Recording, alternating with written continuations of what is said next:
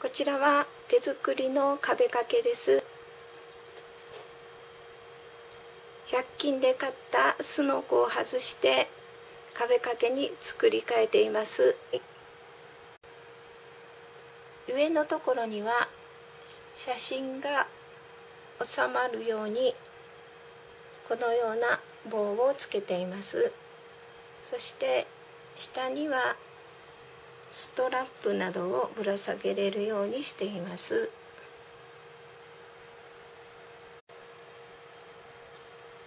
特徴といたしましてはこちらの紐を外して違う紐に付け替えることができます。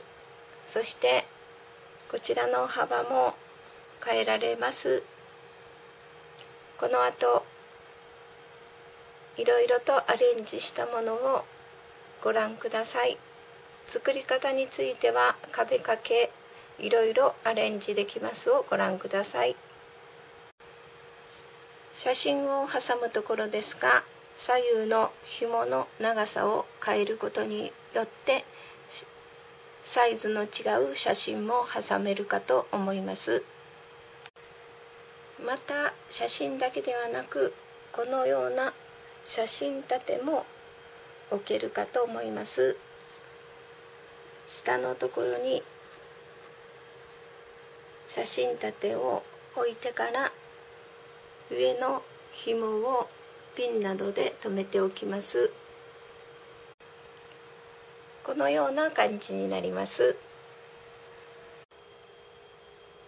ストラップを飾っていたこちらのねじ釘のところですがこちらには輪になっていますのでこちらに細い棒など今回は箸を通していますがこのようにしてお気に入りのストラップをたくさん飾ることもできます。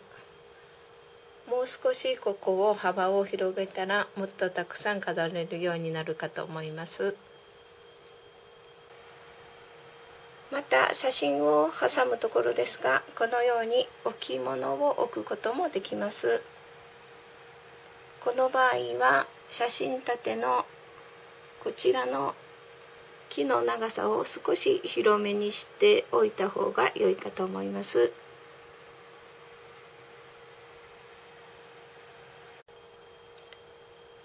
また100均で買ったこのような花のリボン紐ですが板に直接ボンドを塗って貼っても可愛いかと思います。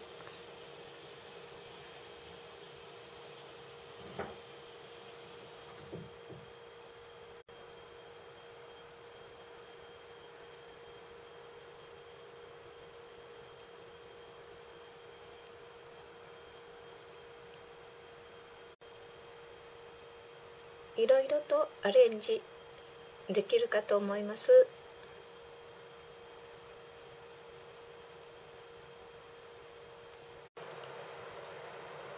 こちらのカレンダーの作り方もただいまアップしています。